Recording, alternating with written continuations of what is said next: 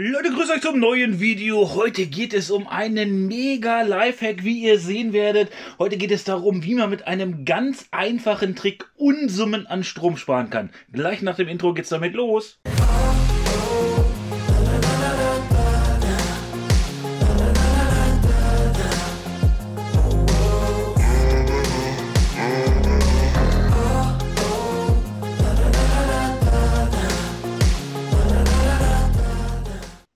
Heute soll es zum einen um einen unwahrscheinlich sinnvollen Lifehack zum Thema Stromsparen gehen und während des Videos werde ich auch noch mein Schweigen brechen zu einem neu auf dem Markt erhältlichen Produkt. Das wird also super spannend, also schaltet nicht weg und guckt das Video bis zum Schluss.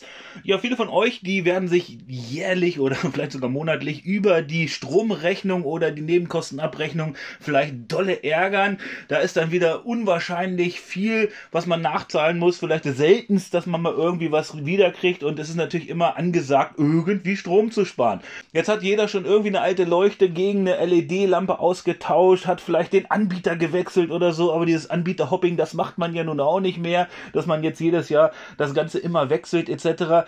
Dabei ist der Trick wirklich super einfach. Ihr werdet gleich sagen, Mann, warum habe ich das nicht jetzt schon zig Jahre lang so gemacht? Dann hätte ich Unsummen an Strom gespart. Ich werde euch das gleich zeigen, wie das Ganze funktioniert und wie ihr das Ganze nochmal intensivieren könnt auf jeden Fall. Ich habe das Ganze jetzt über Monate, ja, wenn nicht sogar, ja, ja, ein paar Monate waren es jetzt auf jeden Fall, habe ich das Ganze ausprobiert und habe da wirklich bahnbrechende Erfolge mit erzielen können. Und das war wirklich enorm, was da an Sparerfolg mit dabei ist. Und dabei ist das Ganze, wie gesagt, super einfach. Ja, und zwar seht ihr hier schon aufgebaut meine Messgeräte etc. Wir kommen erstmal zum Thema Stecker und tasten uns dann etwas langsamer voran. Es gibt ja diese ganz normalen Euro-Stecker heißen die. Die sind natürlich zweipolig beschaltet und haben halt diese Form, dass sie hier so oval sind und nicht abgewinkelt sind. In der Regel ist das. Es gibt natürlich immer Ausnahmen. Heute kümmern wir uns allerdings erstmal um die normalen Stecker. Dann gibt es natürlich solche abgewinkelten Stecker. Die braucht ihr auch für den Trick Trick werdet ihr gleich sehen. Ja, und es gibt dann noch solche Stecker, die sind dann, ja, man sagt, gut, das ist jetzt kein, kein richtiger, einfach ein Schuko-Stecker, so wie ihr ihn hier seht. Das wäre jetzt ein Schutzkontaktstecker. Das ist einer ohne Schutzkontakt, einfach ein zweipoliger Stecker, der dann einfach gerade nach hinten rausgeht. Diese Teile muss man dann mit einem Adapter versehen. Der kostet nicht viel, irgendwie, weiß ich, ich glaube, drei Meter liegen so ungefähr bei fünf Euro. Da ist immer gleich noch ein bisschen Kabel mit dabei. Also ist auf jeden Fall sinnvoll, sich das dann zu kaufen. Ich verlinke euch alles alles, was ihr hier seht, übrigens dann, was sinnvoll ist für diesen Trick und noch mehr, unten in der Videobeschreibung. Da könnt ihr dann mal reinschauen und dann den besten Preis für euch dann ausfindig machen oder den tagesaktuellen Preis auf jeden Fall abrufen. Nun, wie geht der Trick? So, ich möchte euch das Ganze erstmal anhand eines Beispiels, ich hoffe ein verständliches Beispiel, dann zeigen, wie das ist. Ich habe hier einen Schlauch mit Wasser. Der ist hier gefüllt und wenn ich den bewege, sieht man da drin, wie sich das Wasser letztendlich bewegt. So, und jetzt ist es ja natürlich ganz klar, solange der Schlauch hier nach oben geführt ist, tritt hier kein Wasser aus. Das, denke ich mal, hat jeder jetzt auf den Schirm gekriegt. Wenn ich jetzt allerdings das eine Schlauchstück fallen lasse, das heißt das Ganze loslasse, dann habe ich auf einmal hier kein Wasser mehr im Schlauch. Obwohl ich das dann vielleicht, wenn man euch das als Gartenschlauch vorstellen mögt, das dann beim nächsten Mal wieder hätte verwenden können. Jetzt ist das Wasser weg. Es ist einfach abgeflossen und es ist hier in dieser Schüssel und kann dann jetzt so über den Schlauch nur schlecht wiederverwendet werden. Das heißt, ich müsste den ja jetzt hier oder das Wasser wieder einfüllen in den Schlauch. Das ist natürlich super ressourcenzehrend und natürlich zeitaufwendig etc. Das macht kaum jemand und da sagt man eben, ja, verschwinden geringe Menge etc. Das kann ich verknusen Leverkusen. Da will ich also nicht beigehen. Aber so ähnlich verhält sich das Ganze natürlich auch mit dem Strom. Das heißt, wenn wir hier so eine Steckdose haben, da ist das natürlich auch der Fall. Das heißt, wenn ich jetzt hier den Stecker einmal reinstecke, so, dann geht der Strom natürlich jetzt hier gerade heraus und bleibt dann natürlich hier in der Leitung liegen, bis er dann wieder irgendwann gebraucht wird. Und wenn ich die Leitung dann loslasse, fällt der Strom hier natürlich nach unten. Das geschieht zum einen durch die Erdanziehungskraft, durch den Rotationswinkel etc. Das ist völlig logisch, das habt ihr in der Schule gelernt und deswegen weiß ich nicht, warum solche Tricks nicht einfach einfach in der Schule beigebracht werden und da könnte jeder wirklich auf einfachste Weise dann tatsächlich Strom sparen. Ich mache euch das hier nochmal an diesem Beispiel von diesem Euro-Stecker einmal etwas sichtbar oder ein bisschen verständlicher. Wenn ich den jetzt hier reinstecke, der hat meistens noch ein dünneres Kabel. Das biegt sich dann noch schneller nach unten und so ist auch der Stromfluss jetzt wieder nach unten und wird natürlich nicht blockiert. Und der kommt dann meistens gar nicht bis zu meinem Ladegerät, was ich jetzt hier spaßeshalber einmal aufgestellt habe, dann an. Nur wenn ich das Ganze jetzt beschalte, das heißt einschalte, dann kommt der Strom. Aber wenn ich den Strom jetzt hier ausschalten würde, dann würde der natürlich in der Leitung verbleiben. Und wenn ich dann jetzt die Leitung abziehe, dann ist der Strom logischerweise verbraucht. So, nun gibt es natürlich auch Stecker. Wenn ihr die habt, dann könnt ihr glücklich sein. Dann braucht ihr keinen Adapter, denn die sind schon abgewinkelt. Jetzt gehen viele bei, die machen da einfach, sind da völlig unbedarft, stecken das Ganze hier einfach so in die Steckdose und sagen, gut, das läuft ja alles. Natürlich funktioniert das, aber wieder mit dem gleichen Effekt. Und zwar die Leitung geht nach unten, der Strom fällt ab und so wird natürlich der Stromverbrauch deutlich höher. Und dabei gibt es den ganz einfachen Trick. Jetzt kommen wir endlich zum Trick, werdet ihr sagen. Wir nehmen diesen Stecker, drehen den einmal um und stecken den in die Steckdose. Und jetzt hat der Strom das nicht mehr so einfach. Der muss jetzt erstmal nach oben und bleibt dann natürlich hier wie in einem Siphon dann stehen. Nur wenn er über die Leitung dann entnommen wird, wird da quasi ein Anforderungsbefehl dann hingeschickt zur Steckdose nach dem Motto, bring mir jetzt mal ein bisschen mehr Strom und dann ist das so wie bei so einem übertropfenden Siphon, dann geht das hier oben rüber. Ihr kennt das, wenn ihr schon mal über einen Schlauch irgendwie Flüssigkeit angesaugt habt oder so, über einen gewissen Widerstand herüber und dann wird das Ganze hier zum Laufen gebracht. Und wenn das natürlich erstmal läuft, dann läuft das hier ganz automatisch automatisch dann nach vom Strom her. Ihr solltet dann, wenn ihr euer zum Beispiel Ladegerät oder was dann nicht mehr benötigt, dann einfach kurz das Ganze nach oben ziehen, dann bleibt der Strom hier drin und so spart ihr auf Dauer dann logischerweise mindestens, sage ich mal, bei diesem Adapter jetzt drei Meter Strom. Das ist eine Menge Holz. Jetzt kommen wir zu dem Thema, dass wir hier diese Adapter haben. Jetzt sagte ich, ja, ich kann jetzt hier einen neuen Stecker dran machen oder sowas. Dafür gibt es diese Adapter, die zum einen auf dieser Seite so aussehen und auf der anderen Seite so aussehen. Die gibt es mit 1 Meter Länge, 5 Meter Länge, 3 Meter Länge, 10 Meter Länge etc. Natürlich spart ihr am meisten Strom, wenn ihr gleich das 10 Meter Modell kauft. Das ist logisch, wenn man 10 Meter Strom sparen kann. Das ist schon enorm. Ich habe jetzt hier das 3 Meter Modell, weil das ist ein bisschen günstiger. Und wenn ihr jetzt hier den Stecker reinsteckt, nehmen wir jetzt einfach mal hier diesen Stecker, spaßeshalber, stecken den hier rein. Dann seht ihr, Strom läuft. Hat jetzt ein bisschen gedauert, bis das Ganze hier an war, aber er läuft auf jeden Fall. Das funktioniert also.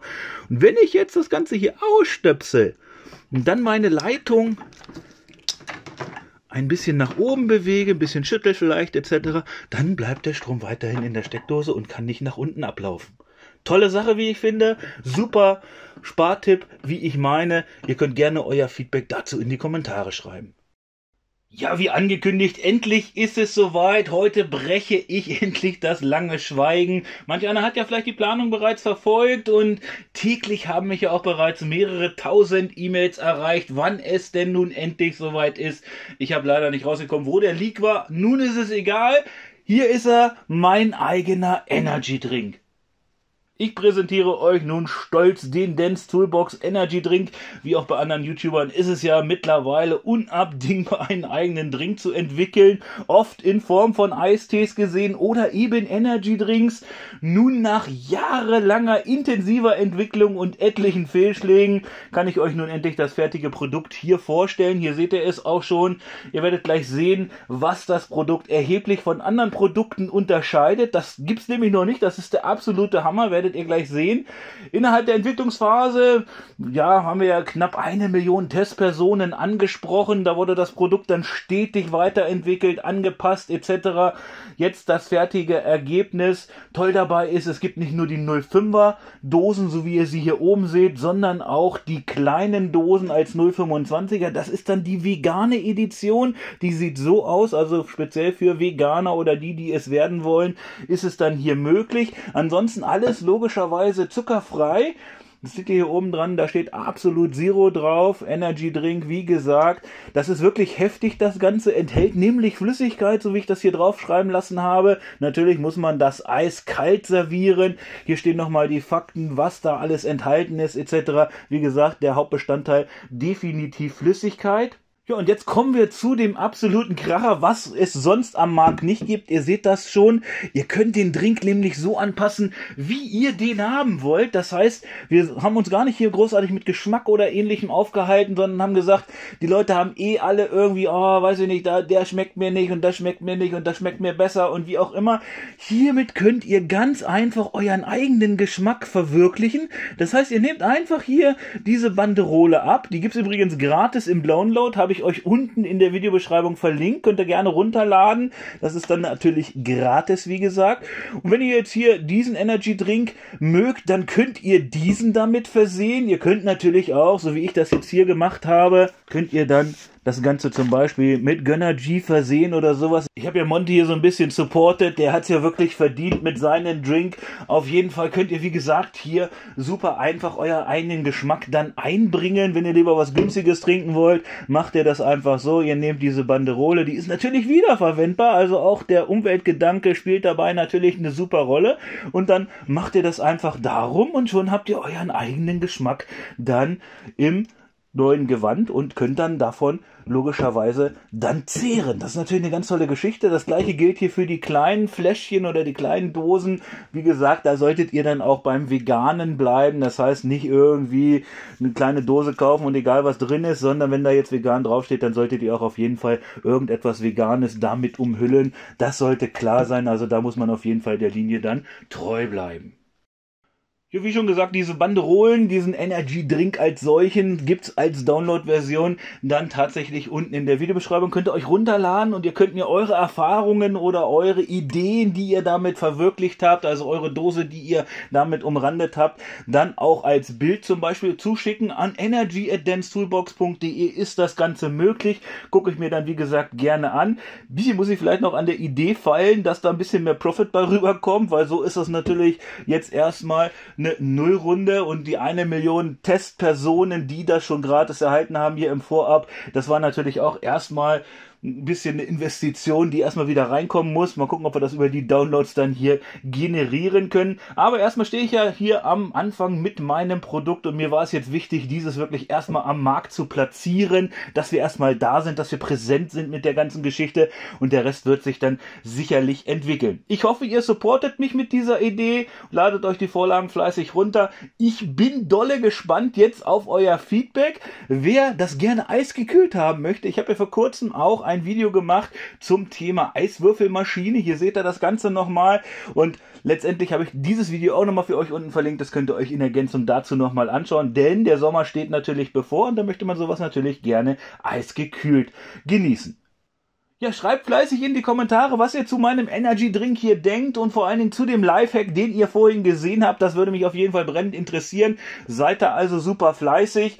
Ich würde sagen, das war's jetzt erstmal. Wenn euch das Video ansonsten Spaß gemacht hat, wenn es euch gefallen hat, wenn es mal Fragen beantwortet hat oder euch jetzt inspiriert hat, lasst mir gerne einen Daumen hoch da, abonniert den Kanal, aktiviert das Glöckchen, nur so verpasst ihr nicht die nächsten Videos. Ich würde mich freuen, wenn ihr nächstes Mal wieder einschaltet. Und jetzt muss natürlich noch den Disclaimer loswerden. Heute ist der 1. April. Ich hoffe, das habt ihr mir jetzt nicht krumm genommen. Das ist alles natürlich hier ein Blödsinn gewesen. Aber ich hoffe, es hat euch doch noch ein bisschen unterhalten und konnte euch ein bisschen ein Grinsen ins Gesicht zaubern. Das war meine Intention dahinter. Ich wünsche euch einen schönen Frühlingsstart, eine tolle Ostern und so weiter, was man alles so wünschen kann. Bleibt gesund. Bis dahin.